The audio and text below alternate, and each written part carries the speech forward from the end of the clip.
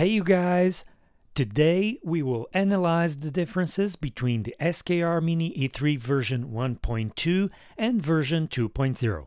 And we will also install and test the V2 and the TFT 35E3 version 3.0 display on the Creality Ender 3.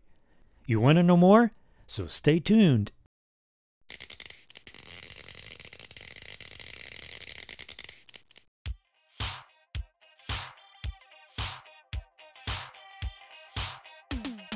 Hi guys, welcome back. But before we start, please support the channel and click like. And if you are not a subscriber yet, go ahead and click on subscribe and follow us also on Facebook, Instagram, and Twitter. So, some time ago, Big Tree Tech released the SKR Mini E3 version 1.2 board. This board was designed to be a plug-and-play upgrade for the Creality Ender 3, Ender 3 Pro, and Ender 5 3D printers. This board is equipped with a 32-bit microcontroller and four TMC's 2209 drivers. Recently, Big Tree Tech released a new version, the Mini E3 version 2.0. This new version also comes with a 32-bit microcontroller and with several improvements over the previous one, such as onboard sensorless homing pins, this new version includes the diag pins to easily bypass the end stops and enable the sensorless homing. Dual Z stepper motor output. If you plan or already have the dual Z stepper motor setup, you can connect both motors directly to the board. External EEPROM. Having an external EEPROM has many advantages, such as higher read and write speeds, much higher read and write number of cycles, and a much longer time of retention of data. The PCB was also redesigned and now has four layers and better heat dissipation for the stepper drivers. On the V2, the components around the drivers are placed further apart. The bed MOSFET is more powerful and there are more outputs. However, there is one thing that is better in version 1.2 and it's the connector markings. Because of the new design, the V2 does not have free space and therefore lost the screw type connector labels. On both and on the backside, the signals for each pin are identified. The solder quality is also good on both boards. As we mentioned in the beginning, these boards are plug and play, which means that the SKR boards have the same form factor and the same connectors as the stock board. But there's one small difference that you need to be aware of, and we will cover this in a few seconds. On GitHub, we can find lots of information on these boards, including pinout and wiring schematic for BL Touch sensor, Big Tree Tech's UPS, and relay. And this is the TFT display. Also designed as a plug-and-play upgrade for the Ender 3 and 5 display, it comes with a knob, a cable for the serial connection, and a flat cable for the traditional EXP connection. At the back, there are many connectors, but the most important are the USB that allows the use of a flash drive, the memory card slot, where we can use this one instead of the printer slot, the Wi-Fi connector making it possible to install a small Wi-Fi module, and the two display connectors. The display works in two ways. You can use the touch feature, but for that you need to connect the display with the RS232 cable to the board or use it the traditional way with the knob and for that you connect the display with the flat cable. The SKR board will also work with the stock display and the TFT display will also work with the stock board, but here you cannot use the touch feature. So, let's start with the installation. Before installing the board, you need to glue the small heatsinks that come in the package on the stepper drivers. On the V2, you don't need to worry and check if the heatsinks are touching the surrounding components, since like we said, they are far apart. But for the version 1.2, you need to check this. Open the panel by removing the three screws. On the Ender 3, the screws and panel are located on the top side, but on the Ender 3 Pro, one of the screws is at the top and the other two screws and panel are on the bottom side. Most of the cables connected to the board have labels on them, but some don't, so make sure you label them before removing them from the stock board. To remove the stock board, you need to unscrew the four screws. Before installing the new board, we recommend to make a small modification to the wires that connect to the screw type connectors. Creality normally tins the wires with solder, which is a bad idea. So we recommend you to cut the tin wire tips and crimp ferrules on them. The ferrules provide a much safer connection. Then, start with the wires that are connected to the screw type connectors.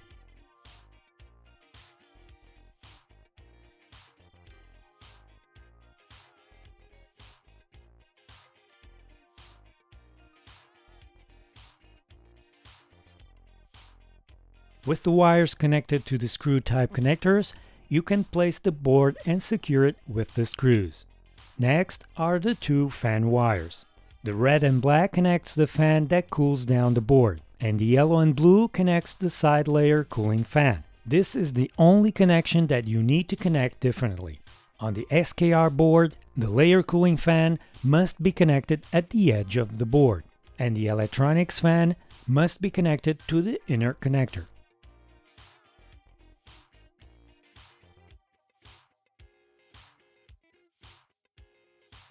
Next are the X, Y, and Z end stop connections. Then the bed and hot end thermistor connections. And the stepper motor connections. For the Z and for the V2, there are two Z outputs, but since they are connected in parallel, you can connect to any of them. And finally, the display connection. If you have the stock display or don't care about the touch feature on the TFT display, you need to connect the flat cable here. If you plan on using the TFT display and the touch feature, you need to connect the serial cable here. For the touch display, and since we want to test the touch feature and the non-touch feature, we will have to use and connect both cables. At the back of the board, you can find a pinout for the connections. But if you have the board already installed, don't worry. On one end of the cable, you have a 4 pin connector and a single pin. This pin is the reset pin. So taking that into account, the pin next to it is the RX pin, then the TX pin, then the ground, and finally the power pin. That being said, you need to connect the wire with the reset pin here and the 4 pin cable next to it. Make sure the cable is not twisted. Don't forget to connect the electronics fan and close the panel.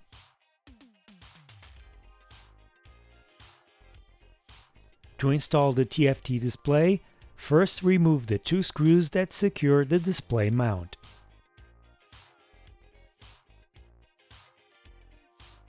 Disconnect the flat cable, pull the knob out and uninstall the stock display by removing the four screws at the back.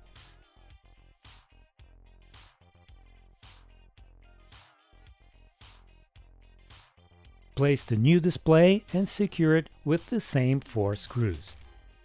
Don't over tighten these screws because if you do, the touch panel might be pushed against the metal panel, and because of that, it could get unresponsive. With the display secured, place the knob.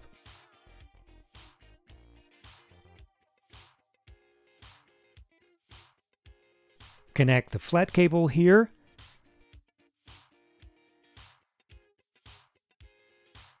and the serial cable here. Then install the metal mount back.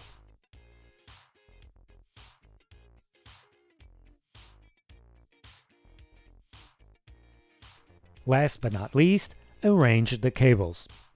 Okay, we are ready to turn the printer on and test. The first time we turn on the printer, the display gives the option to choose to use the touch feature or the classic version. If we select the touch feature, we enter this main screen. At first, it might display the message that the printer is not connected. But if everything is okay and the serial cable is correctly connected, a few seconds later it establishes the communication with the board and the message goes away. At that time, we get the temperature readings on the screen. Clicking on the menu icon, we get a lot of options such as heat and fan where we can heat up the nozzle and bed, control the layer cooling fan, and the button to turn off the heaters. Movement where we can home the printer, move each axis and level the bed. Extrude where we can load and unload the filament. Emergency stop. G-code and this is a very nice feature. Sometimes we want to send G-code commands to the printer and the only way we can do that is by using a PC, but here you can do that directly from the display. In custom, we have some more options and note that the nozzle and bed temperatures are always on the display as we travel along the menus. This is also a nice thing to have. In settings, we have a few more buttons. The screen allows us to rotate the image, calibrate the touch, change the language, turn the sound on and off, and also the option to change the background and font colors when in Marlin mode.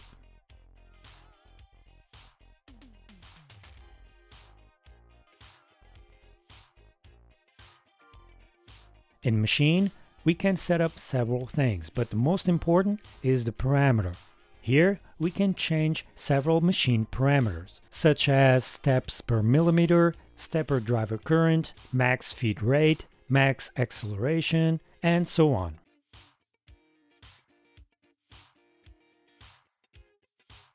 In feature, we have a few more nice to have configurations.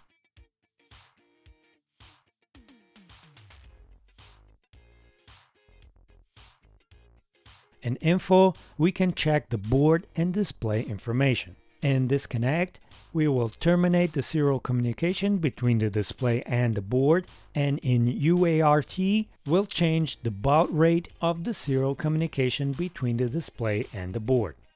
To switch between modes, we simply keep the knob pressed for a few seconds and we get the selection screen back. We just need to touch the Marlin mode icon to enter this mode. Here we have the traditional screen with the environment and menus we are familiar with.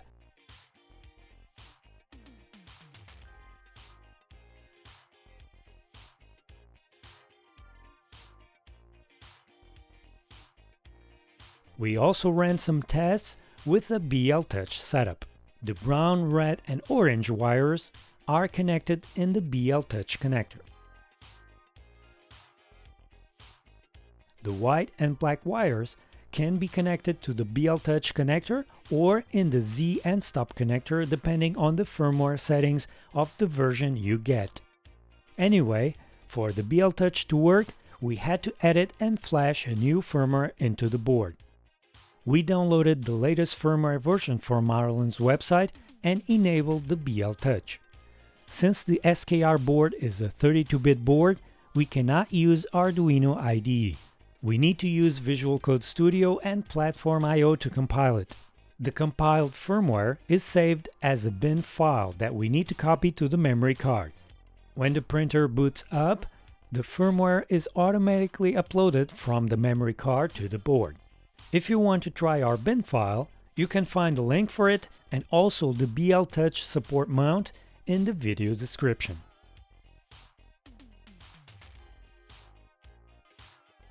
The SKR boards are a very nice upgrade over the stock one of the Ender 3 and Ender 3 Pro. The TMCs on these two boards produce better print quality when compared with the stock board, equipped with the Allegro drivers, and make the motors run silent. And when together with the TFT display, both bring many cool and powerful features to the machine. Well, that's it you guys. Any questions or comments, let us know in the comment section below. We will see you guys next time. Bye!